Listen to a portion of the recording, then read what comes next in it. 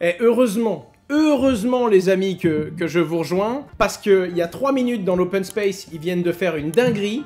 Ils ont sorti un bloc de Saint-Moret avec des 3D. Eh bien, je me suis dit que ça devait être vraiment mauvais, j'ai goûté. Écoutez, très clairement, si j'avais pas le live, je m'étais pause et je pense que pendant 25 minutes, je mangeais des 3D avec du Saint-Moret dessus, donc euh, il était temps que je me reconcentre.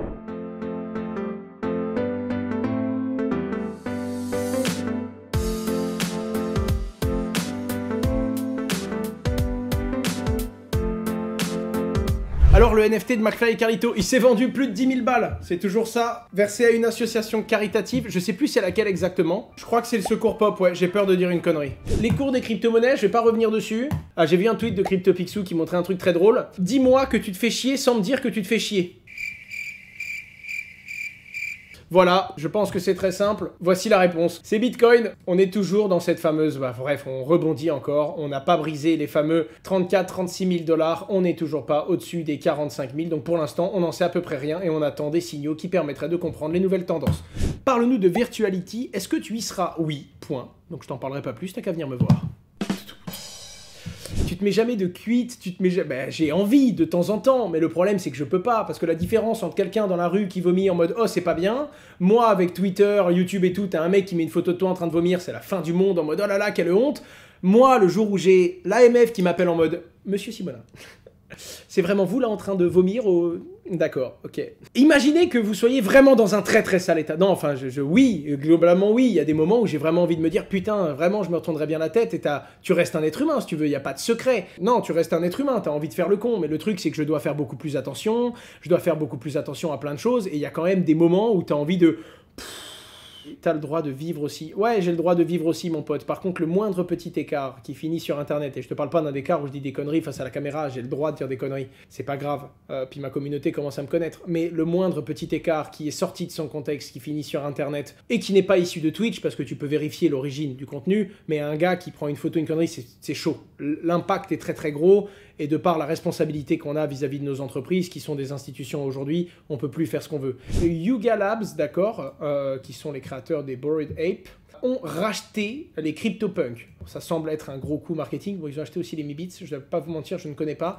En tout cas, au niveau des CryptoPunk, on a eu l'explication des CryptoPunk, et ce qu'ils ont expliqué, c'est qu'à la base, c'était pour créer une collection qui était figée dans le temps, et qu'ils aimeraient bien donner plus justement, comme on fait les Bored Apes, c'est-à-dire qu'il y a plein plein plein d'avantages qui sont donnés aux détenteurs des Bored Apes, alors que ce n'est pas le cas des CryptoPunk. Donc ça faisait sens, sachant que les deux créateurs des CryptoPunk n'avaient pas pour objectif de développer et de proposer justement plus de services derrière. Donc laisser Yuga Labs, qui est d'ailleurs, c'est costaud quoi, c'est vraiment très très costaud ce qu'ils ont fait, c'est l'une des plus grosses collections. Leur donner un accès au CryptoPunk et leur permettant peut-être dans le futur de créer quelque chose et de donner d'autres accès, ça faisait sens et donc ils ont pris la décision de céder les droits. Autant vous dire qu'aujourd'hui, Yuga Labs, enfin le Board Ape Yacht Club, ça commence à faire...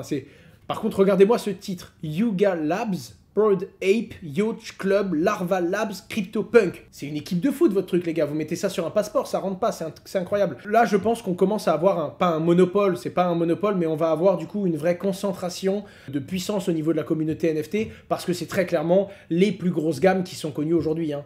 Euh, il suffit qu'ils rachètent CryptoKitties derrière, et ils ont très clairement un, gros monopole. Voilà, il y a le nouveau Launchpad Ethereum sur Elrond, vous pouvez vous inscrire. Ça va vous donner l'eligibility en fonction de votre position et ça vous donnera, si vous avez des tickets et si vous avez de la chance, le droit à obtenir des tokens un petit peu comme avec Holoride. Crypto, le régulateur japonais demande aux entreprises crypto de se conformer aux sanctions contre la Russie. Alors j'ai eu la chance, là pour le coup c'était vraiment cool, j'ai pu appeler du coup et échanger avec le, cabinet du, ministre des Finances, de l'économie et de la renance, donc le cabinet de Bruno Le Maire, et du coup ils ont précisé, parce que ça a fait un scandale, la communauté a dit oui, on va encore utiliser l'excuse de la Russie pour taper sur les crypto-monnaies.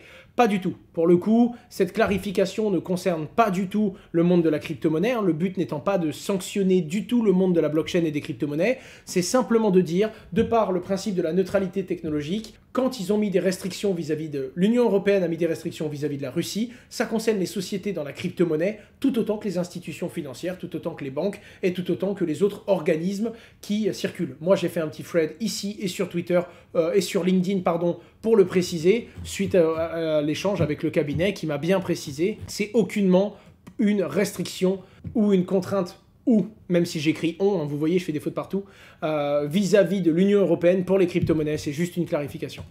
Mon TikTok, c'est purement du contenu. Polygon a planté aujourd'hui, sérieux? Faut qu'on voit ça, désolé, je l'ai raté.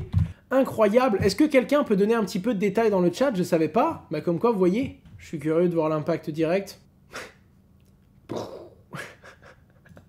ça s'appelle aller sous la tourelle niveau 1, ça. Tu vois, c'est... Ouais, c'est un petit peu rude. J'espère qu'ils vont rebondir parce que là, globalement, ils ont une zone qui, enfin, qui descend en dessous du dollar. Ils peuvent très très vite plonger. Euh. Ils plantent souvent en ce moment. Bon bah écoute, en espérant qu'ils arrivent à stabiliser le réseau, mais comme ils commencent à être beaucoup utilisés, ils peuvent vite se prendre des claques. Alors ouais, Cross the Ages, ça a l'air fou. Pareil, Cross the Ages, je suis rentré en contact avec Samy il y a plusieurs mois. En gros, c'est simple, il a des très grosses ambitions. Et c'est ce qui fait peur sur ce genre de projet, sauf que il a des très grosses métriques. Le projet réunit déjà 140 personnes. Dans ces 140 personnes, on a 120 écrivains, parce que c'est quand même une histoire, c'est un écosystème, je vous rappelle qu'il y a un livre, 75 artistes, 20 développeurs, pardon, Unity, Unreal, qui sont des moteurs pour créer des jeux vidéo, et également des modélisateurs 3D. Donc j'attends beaucoup. Surtout que moi je suis dans un monde où. Est-ce que vous connaissez. Ça vous parle Yu-Gi-Oh? Mais vous imaginez un jeu où tu mets tes cartes et t'as une vraie représentation? Imagine en fait un écosystème où tu rentres, tu connectes ton deck.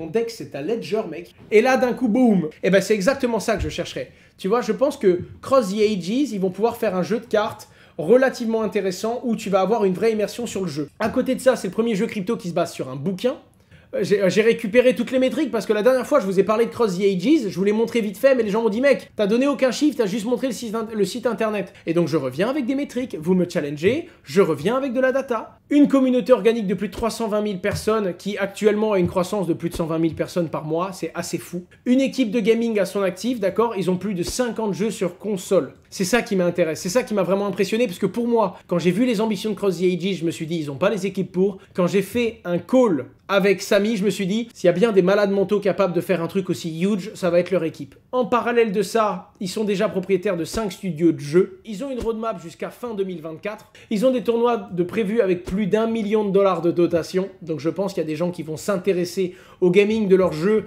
surtout si les meilleurs joueurs vont très rapidement comprendre la dynamique du jeu et savoir qu'ils peuvent gagner de l'argent dessus. Globalement, vous allez voir, je pense que ce sera dans des salves d'NFT dans les premiers lieux il n'y a pas encore de token. Non, non, les gars, on est au début. Hein. On est vraiment au début de ce que va être cet empire. En tout cas, si on les écoute et si on voit ce qu'ils veulent faire, on est vraiment, vraiment, vraiment au tout début. Je vous en parlerai quand il y aura du nouveau, quand il y aura le jeu qui va sortir, quand il y aura des sorties sur le livre. Et surtout, on pourra brûler dans la blockchain un NFT afin de recevoir une carte du jeu chez soi. Attention, hein, ce sera pour passer totalement sur de la collection, parce qu'on pourra pas, si je dis pas de bêtises, revenir au NFT et jouer avec au jeu. Mais je trouve ça cool de vraiment faire un parallèle.